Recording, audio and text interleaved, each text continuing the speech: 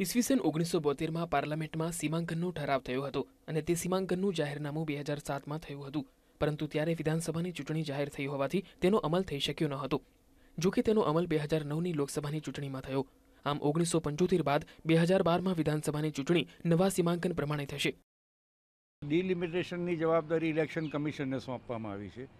Election commission ડિલિમિટેશનની નિમણૂક કરે છે, એના સભ્યોની નિમણૂક કરે છે. એમાં ઘણા બધા નિષ્ણાત માણસોને મૂકવામાં આવે છે. વસ્તીશાસ્ત્ર જેને આપણે ડેમોગ્રાફી કહીએ છીએ એના પણ મૂકવામાં આવે છે. શહેરીકરણના જે અભ્યાસીઓ છે એને પણ એમાં મૂકવામાં આવે છે. એ લોકો સાંભળે છે બધાને. દર દસ વર્ષે વસ્તી ગણતરી થાય છે અને વસ્તી ગણતરી મુજબ સીમાંકન કરવામાં આવે છે. વસ્તીમાં થતા ફેરફારને લઈ સીમાંકન કરવામાં આવે છે અને આ આધાર પર ડિલિમિટેશન કમિશન સીમાંકન નક્કી કરે છે. વસ્તીમાં થયેલી જે હેરફેર છે ખાસ કરીને દર વર્ષે દર દસ વર્ષે વસ્તી ગણતરી થાય અને વસ્તી ગણતરીની અંદર અમુક વિસ્તારોમાં વસ્તી વધારે વધી છે અમુક વિસ્તારોમાં વસ્તી ઓછી વધી છે અમુકમાં કદાચ ઘટાડો પણ થયો છે. આ બધાને ધ્યાનમાં રાખીને આ મત વિભાગોની પુનઃરચના કરવામાં આવે.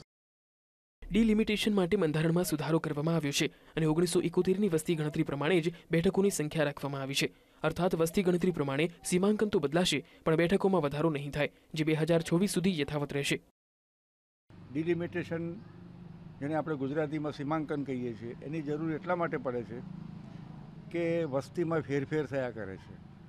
દાખલા તરીકે શહેરની અંદર રહેનારી વસ્તી પરા વિસ્તારમાં રહેવા જાય, એટલે ત્યાં આગળ જે વસ્તી છે અને ત્યાં જે મતદારો છે એની સંખ્યામાં ઘટાડો થાય. અને જ્યાં બહાર રહેવા જાય, ત્યાં વસ્તીમાં અને મતદારોની સંખ્યામાં વધારો થાય. એટલે એક પ્રકારનું ઇમ્બેલેન્સ ઊભું થાય છે. ગુજરાત વિધાનસભાની પ્રથમ ચૂંટણીમાં એકસો બત્રીસ બેઠકો હતી, જેનું માત્ર બે વર્ષના ગાળામાં વિસર્જન થયું. ઓગણીસો બાસઠમાં એકસો ચોપન બેઠક થઈ. ત્યારબાદ ઓગણીસો સડસઠમાં એકસો અડસઠ બેઠક કરવામાં આવી. આ બેઠકો દસ વર્ષ સુધી યથાવત હતી. જ્યારે ઓગણીસો પંચોતેરમાં એકસો બ્યાસી બેઠકો કરવામાં આવી. અર્થાત એકસો બ્યાસી બેઠક પ્રમાણે આ આઠમી વિધાનસભાની ચૂંટણી આવશે.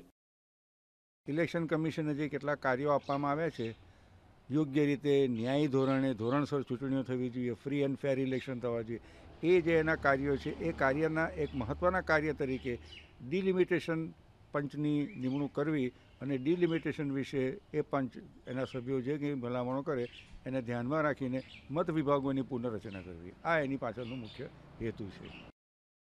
એકસો બ્યાસી બેઠક મુજબ આ બીજી વાર નવું સીમાંકન થયું છે. ત્યારે ગુજરાતની રાજકીય પરિસ્થિતિમાં કેવું પરિવર્તન આવશે, તે આગામી વિધાનસભાની ચૂંટણીના પરિણામ પરથી નક્કી થશે.